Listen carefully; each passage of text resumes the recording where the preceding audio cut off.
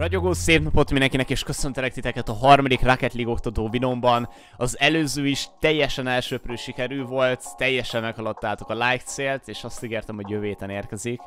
Aztán... Aztán igazából én is ráfügtem a játékra.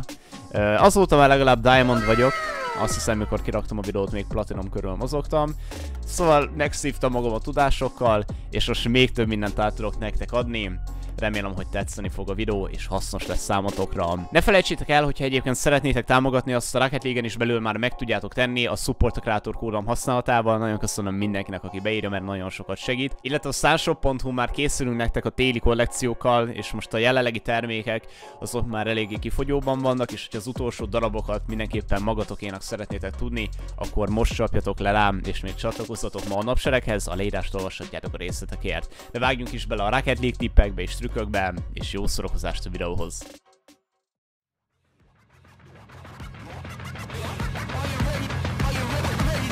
From the gutter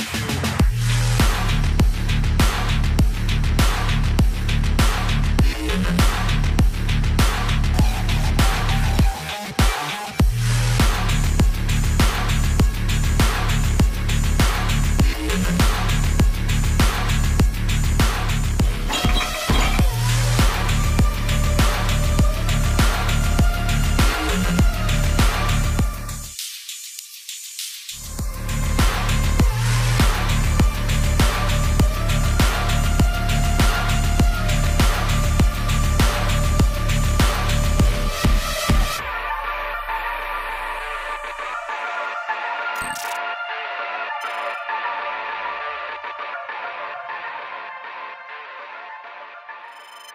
Ebben a videóban 9 gyakorlati és elméleti tanácssal fogok nektek szolgálni. Először inkább a gyakorlati tippekkel kezdenék, ugyanis ezek jóval konkrétabbak és kézzelfoghatóbbak. Később viszont kitérek olyanokra is, amik a megfelelő helyezkedés alapjait taglalja. A játék egyik, hanem a legfontosabb készség, amit el kell sajátítani a mindenkinek, ha fejlődni akar a helyezkedés. Viszont ez olyan összetett ismeretet, gondolkodásmódot és több száz órás gyakorlatot igényel meg, hogy egy videóban szinte lehetetlen lenne mindent átadni. De igyekszem a fő követendő tudnivaló valókat ismertetni veletek. Még egy konkrét aspektusra nem térnék ki, a kikoffokra, azaz a középkezdése. Bár ez is rendkívül fontos, de az összetettsége miatt mindenképpen egy külön videót érdemel meg. Eddig is óriásiak voltatok, hogyha like célokról volt szó, szóval hogyha az 5000-et elérjük, már készítem is nektek.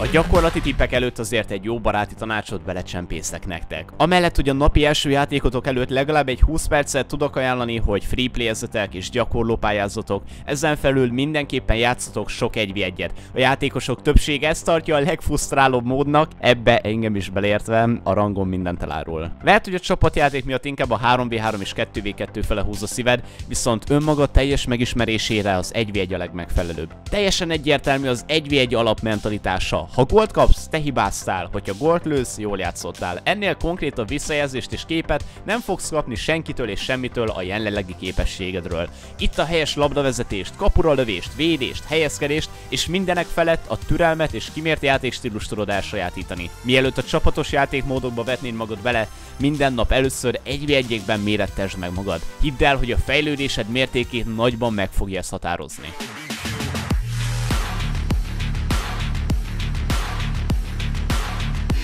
Néha-néha egyszer máskor, hogyha úgy adódik az alkalom, ebben a játékban megesik, hogy a labdát el kell rúgnod. Mint mindennek, ennek is megvan a helyes technikája. Elég sok irányból, szögből, sebességből érkezhet a labda felét, illetve még akár pattogva is, ezért ne haragudjatok, de inkább nem beszélnék erről, mert túl összetett. Na jó, három főbb szituációt felvázolok. Alapból a legerősebben úgy küldheted meg a labdát, hogy beleugrasz. Ugyebár ilyenkor a második ugrásodat előrefele használd el, ezzel egy előre szaltót végez a kocsit. Szerintem ezt nem kell túl magyarázni. Az előreugrásod lendületvétele a mechanika fizikájából is erőegyütthatók inkonzisztens változó differenciálás állából számított integrált kvócien... Nagyon nyugi A lényeg, hogy a szaltó egy egyre lassuló mozgás, így mindig az első pillanatában a leggyorsabb. Azaz előre szaltókor a kocsi órában lesz a legtöbb erő, ezért ezzel kell tudnod a labdát eltalálni. Ebből adódik, hogy bárhogy is érkezzen feléd a labda, tökéletesen kell tudnod időzítened, hogy pont abban a pillanatban ugorj bele, ahogy érintkeznél a labda felületével. Ha tudod, hogy mi az a flip cancel, akkor az elrúgás után még ezt is csináld, de hogyha esetleg nem tudnád, akkor semmi baj, mert majd máskor beszélünk róla. A másik fő szituáció elrúgások tekintetében, amikor egy pattogó labdát akarsz megküldeni. Akkor tudod ezt a legnagyobb erővel megtenni, ha a lepattanását követő pillanatában viszed véghez az ugrást. Hogyha jól csinálod, a labda elég nagy ívet is vesz, magyarul nem laposan fogod elrúgni. Ez általában nem okoz gondot, sőt, sokkal nehezebben blokkolható az ellenfél által. Viszont, hogyha nagyon közel vagy az ellenfél kapujához, akkor inkább ne itt tégy, mert könnyen fölé rúghatod. Ilyen esetben érdemesebb előbb megkezdeni az ugrásod, így kisebb és visszintesebb erővel fogod megküldeni a kapu felé.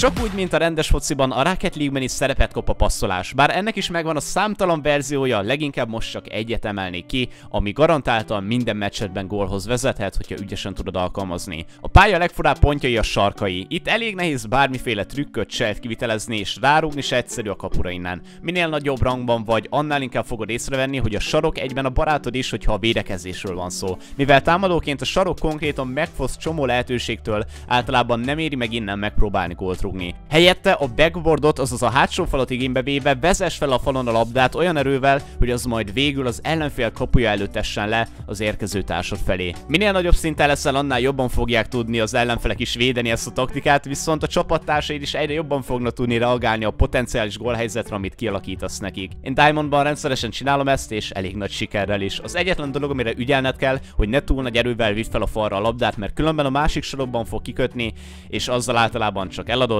nyilvánvalóan az ellenfélnek, és ez nem jó.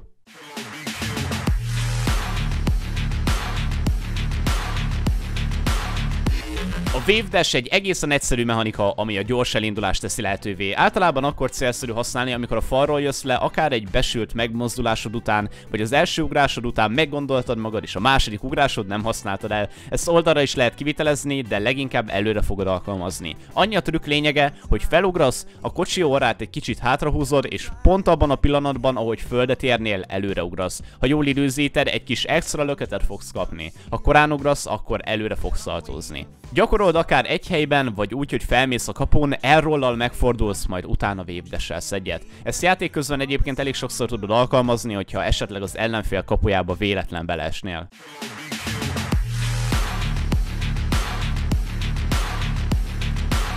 A csapatos játékmódokban a rotáció kulcsfontosságúak. A rotálás valahogy úgy fogalmaznám meg magyarul, hogy a játékosok folyamatos, tudatos és szabályszerű mozgása a pályán az adott helyzethez igazítva. Vegyünk egy játékost, aki birtokolja a labdát és éppen támad. A csapattársának ezt figyelembe kell venni, hogy jelenleg támadó helyzetben van. Ilyenkor nincs értelme oda csörtetni és elvenni tőle a labdát. Amíg úgymond játékban van, azaz látod rajta, hogy a helyzet ura kezeli a labdát és nem hagyja ott, nem menj nagyon a közelébe. Általában próbálj úgy elhelyezkedni mögötte, hogy se túl közel, se túl távol ne legyél tőle. Akár jó vagy rossz kimenetele lesz a labda birtoklásának, készen kell, hogy állj arra, hogy reagálj rá. Hogyha túl közel vagy hozzá, és elrúgják fölötte a labdát, akkor te sem fogsz tudni védekezni, és zicser lehetőséget adtok az ellenfélnek. Hogyha túl távol vagy a csapattársattól, akkor pedig rengeteg gólpasszáról maradhatsz le. Ha megvan az úgymond helyes követési távolságod, már csak a helyzeteden kell csiszolnod idővel, azaz, hogy mennyire legyél tőle jobbra vagy balra. Ez kicsit összetettebb lehet, viszont ami nekem segít, hogy a csapattársammal szembelevő ellenfél helyzetét is pásztázom.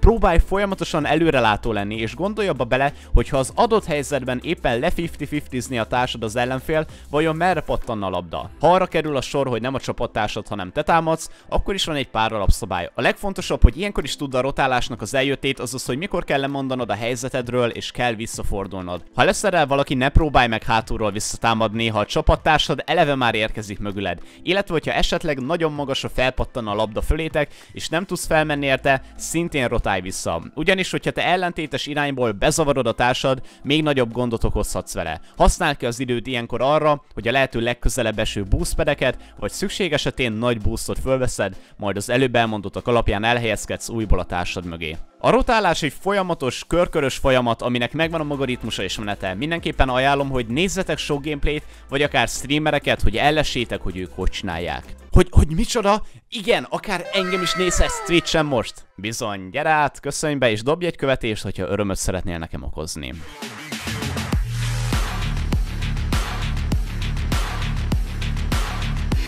Lehet, hogy több információ hangzott el a videóban, ami számodra új volt. Bátran nézz vissza a videómra bármikor, amikor úgy érzed, én itt fogok várni. Illetve, hogyha még nem láttad volna az első kettő rész, mindenképpen ajánlom, amiből még több mindent tanulhatsz meg. Ha tetszett a videó, érjük el az 5000 lájkot, és érkezik a következő oktató videó, illetve ne felejtsetek el feliratkozni a többi király tartalomért. Jó fejlődést és gyakorlást, sziasztok!